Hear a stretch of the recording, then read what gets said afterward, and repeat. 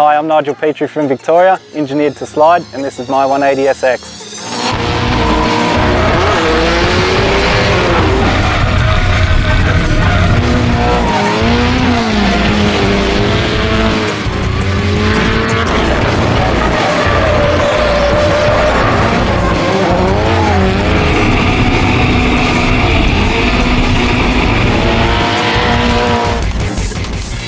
Putting together a feature about Nigel Petrie and any of his cars is a hard thing to do.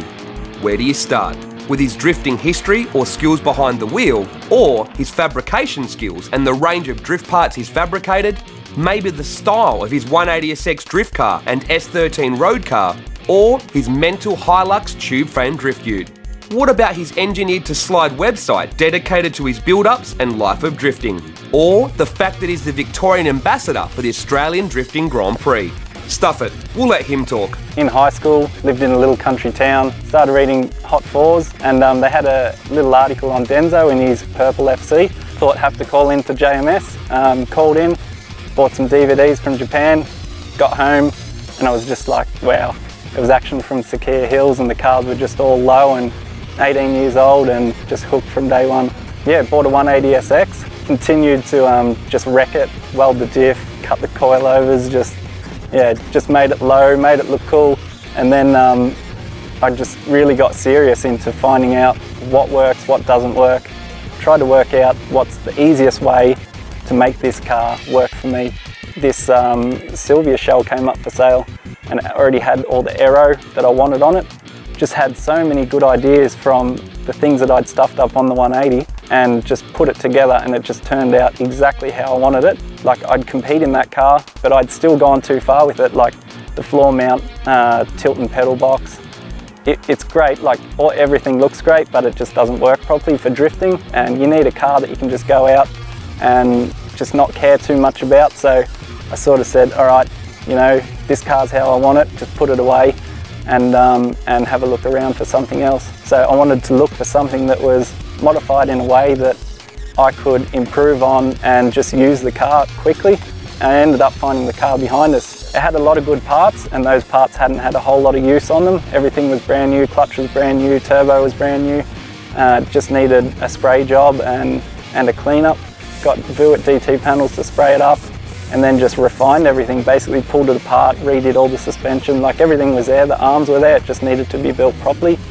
And, um, and yeah, and then three years later it, it rocks up like this and it's again too clean to drive, but hey, just thrash the hell out of it and fix it. A big part of the appeal of Nigel's cars are their style, and the 180SX has plenty of it, with a genuine Uras body kit, wide fenders, vented FRP bonnet and Type X wing all resprayed in red, and dropped hard on Driftmaster wheels, but he generally runs TE37s on the track.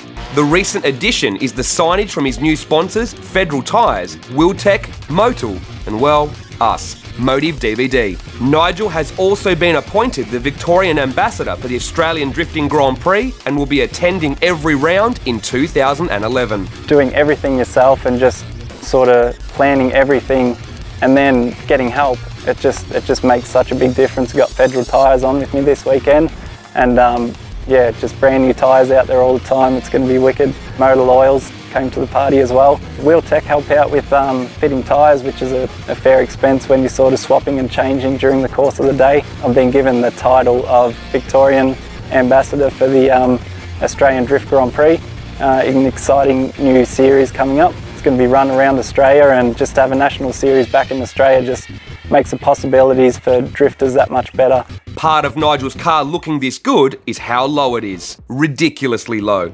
But unlike a Bogan's chop spring Commodore, this 180SX still handles and drives the way it should, thanks to Nigel's clever modifications to the suspension. I think drifting is a show. Um, I believe in a car looking good, but I also believe in a car that works properly.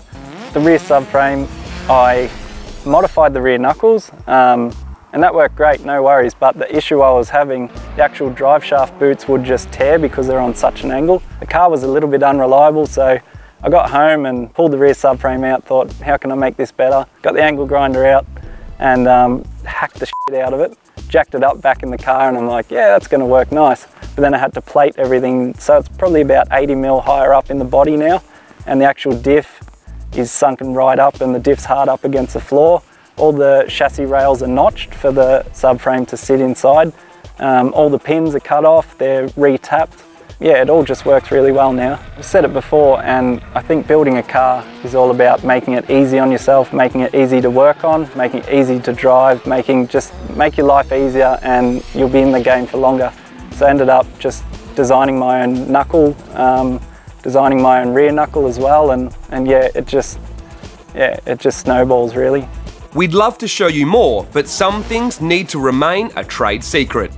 But you can read the longest suspension modification list we've ever seen, and you can see with your own eyes the raised rear strut tops and the Tein Super Drift coilovers. Braking wise, the car has R33 Skyline brakes all round, and inside the car there is more styles for miles. The stripped interior is fitted out with Bride, Defi, and Nardi wheel, all pure JDM goodness. Nigel's custom roll cage, stitch welding, handbrake and dash can all be seen too. It all looks good and is perfectly functional.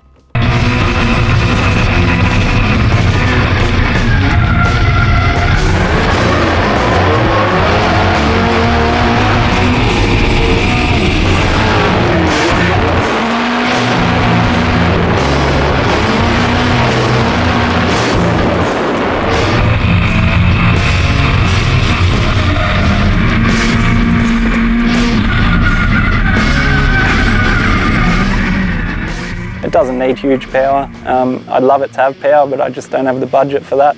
Um, Dr. Drift's extracted about 260 real world kilowatts out of it, and yeah, it's going really well. It's reliable. That's how I want to keep it. Nigel's mentality is right. You don't need big power for drift. You need a reliable, well set up car, and this SR20 combo has proven very reliable. The stock bottom end is mated to the head with ARP studs and a metal head gasket, and there is Greddy camshafts and rocker stoppers. Reliability is kept in check with a Trust sump, Greddy oil cooler, and a 50mm radiator, all with custom ducting. The 250 odd kilowatts comes courtesy of a Trust TD06 L220G turbo with a precision wastegate and custom 3 inch exhaust system. The Hypertune inlet manifold and throttle body receives chilled air through the custom intercooler, which Nigel made so the radiator would receive maximum cool air. Nigel fabricated everything in the engine bay himself. The only thing he didn't do was tune it, which was handled by Dr. Drift pushing buttons on the Power FC computer. Also aiding reliability is the Z32 gearbox, which Nigel made the adapter kit for, and there is an ORC twin plate clutch and Nismo two-way LSD.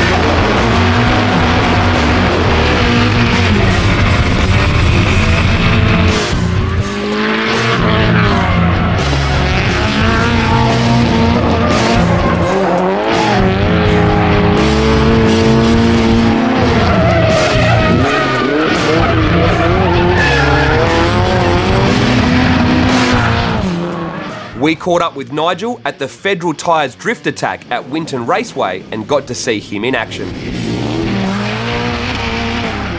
Nigel was as smooth and consistent as ever and took the number 4 qualifying spot. But he didn't have it easy in the battles. He had to go one more time against Rob Arbolino in the top 8.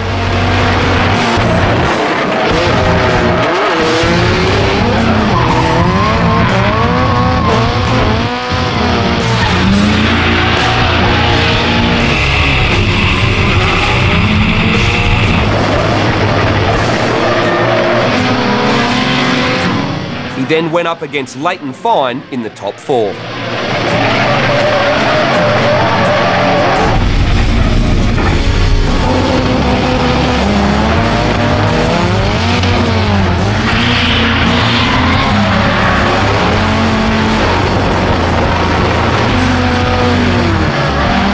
Nigel was then able to take out Nathan Weasel, putting him on the podium in third place before he let loose for some victory skids. Know,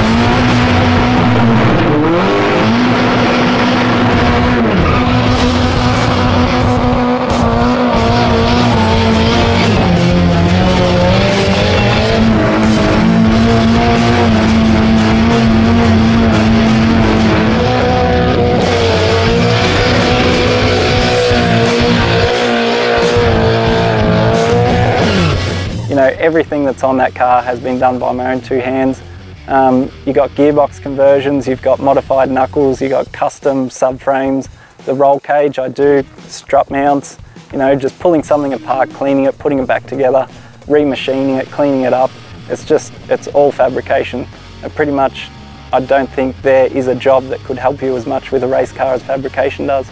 I got the car to a stage where it works, I get it out of the shed, I know what it's going to do. I really don't want to modify it, I just want to replace what breaks. Um, I'm going to change the look up a little bit um, and just, yeah, always make it look fresh, always make it look good, always have it mechanically ready to go. But yeah, I don't really need to modify it much more.